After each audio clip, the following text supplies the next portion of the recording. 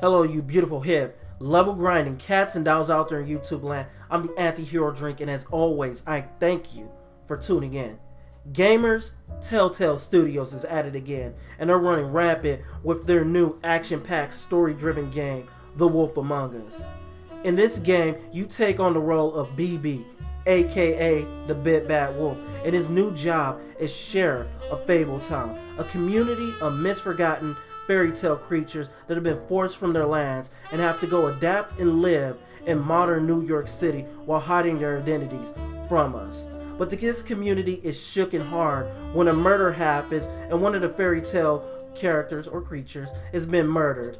And it's up to you to figure out who or what did this. So gamers, get ready and get set for sex, drugs, and violence, starring some of your most beloved childhood fairy tale stories and characters. Gamers, if you were a fan of the way the Walking Dead game looked, then I need to go tell you that Telltale Studios is outdone itself and you'll be blown away by The Wolf Among Us. While colors in this game can pop and look vibrant, at the same time they do a great transition into this more watered down look with thrown on with gray shadows and shading to give this game a very darker and edgier look in true pulp and noir style fashion to bring out the tones and the seriousness of the murder mystery that you're going to embark on in this game. Anybody who didn't like the point and click gameplay aspects of The Walking Dead, they feel more at home and feel more right in this game than they actually did in The Walking Dead game.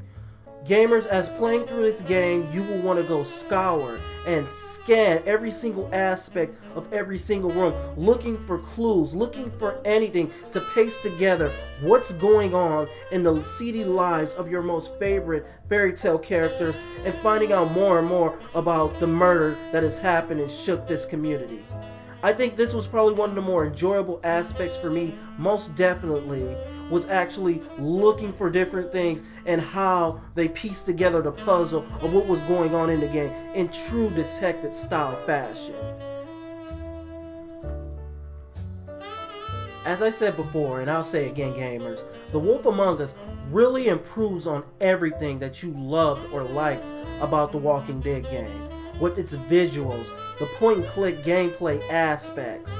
Just all around, it's more of a funner game. A lot of things feel more at home right now, and you can definitely tell the development team behind the game truly knew what to go keep from the Walking Dead game and what to actually change. The game is paced quite well and is definitely worth your money.